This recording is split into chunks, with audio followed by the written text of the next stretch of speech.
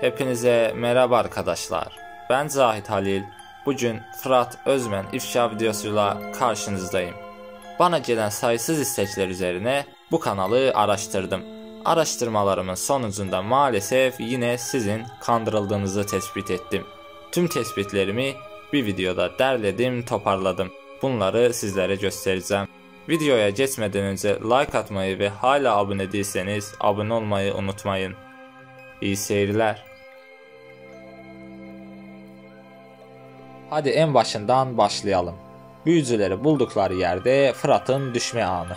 Bu düşüşün sahte olduğunu size kanıtlayabilirim. İyi izleyin. Fırat Özmen arkaya taraf düştüğü için dolayısıyla ön taraftan itilmiştir. Ama ön taraftan itilen birisinin arkaya böyle düşmesi biraz saçmalık. Çünkü arkaya taraf düştüğünüzde ayaklarınız öne taraf değil de destek vermek için arkaya taraf gider. Dikkatli bakarsanız burada Fırat düştüğü an bacakları öne doğru gidiyor. İşte buradan Fırat'ın bu düşüşü bilinçli bir şekilde yaptığını anlayabiliyoruz. İsterseniz arkanıza yastık koyarak güvenli olmak şartıyla siz de deneyebilirsiniz.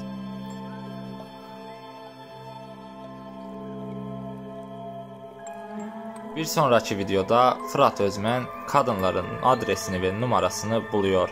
Aradığı zaman kadınların cevabı şöyle. Biz zaten senin geleceğini biliyorduk. Daha sonra Fırat Özmen bizi sizin yanınıza bir köylünüz getirecek dediğinde onu tanımıyor ve yüksek bir ses tonuyla kim olduğunu soruyorlar.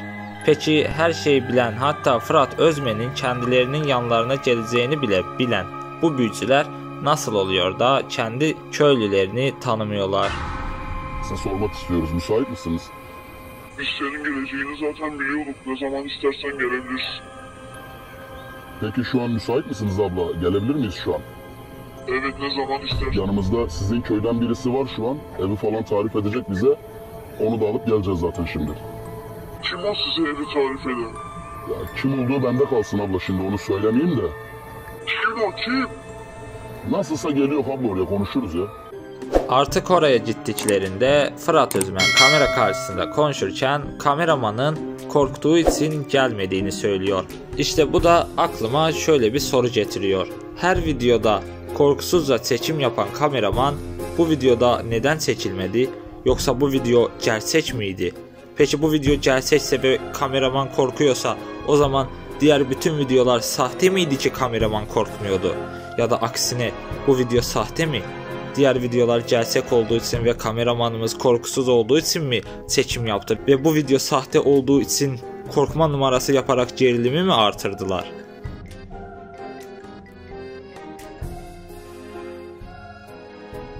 O insanlara zarar verecek o kadar çok şey yaptı ki neredeyse köylüler onun yüzünden bizi diri diri yakıyordu.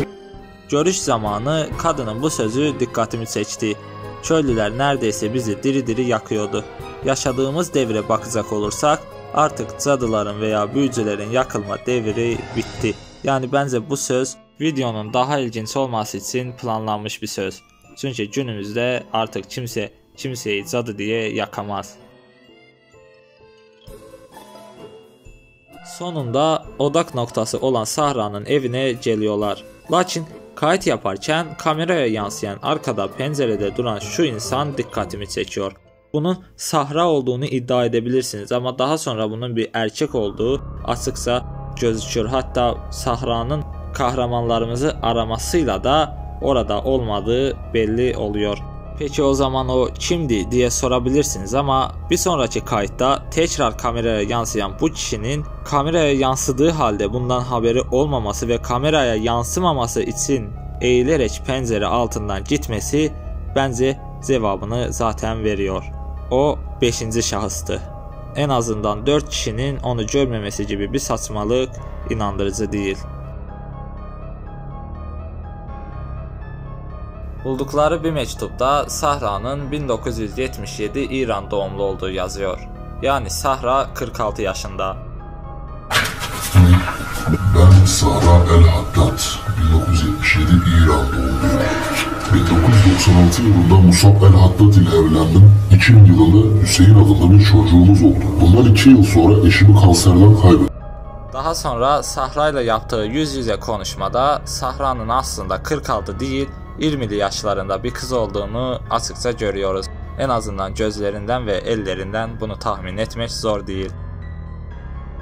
Aynı videoda bir süre sonra Sahra ile ritüel yaptıklarında Sahra'nın Cuya kafasına taşla vurup Fırat'ı bayılttığını görüyoruz. Dikkat ettiyseniz sağ taraftan vurdu ve ne kadar yavaş vurduğunu da zaten görüyoruz. Yani gerçekten vurmaması bir yana şimdi başka bir şeye dikkat edelim. Sağ tarafından vurmasına rağmen bu görüntüde Fırat Özmen'in kafasının sol tarafını tuttuğunu iyice görüyoruz. Akan kansa bir boyaydı ve kaydın arasına giren bu görüntüyle de Fırat'ın kafasına sürülmüştü. Ama Fırat'ın en sonda yaptığı konuşmada yine kafasının Cuya sağ tarafının yaralandığını görüyoruz.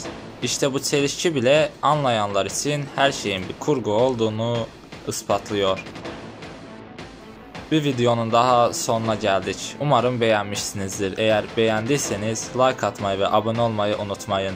Bir sonraki videoda görüşmek üzere. Hoşça kalın.